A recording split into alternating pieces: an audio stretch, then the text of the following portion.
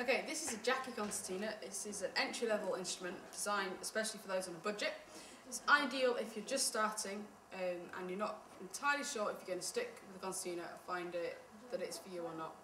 It won't hold its value the same way as a traditional instrument would, a traditional vintage kind of model.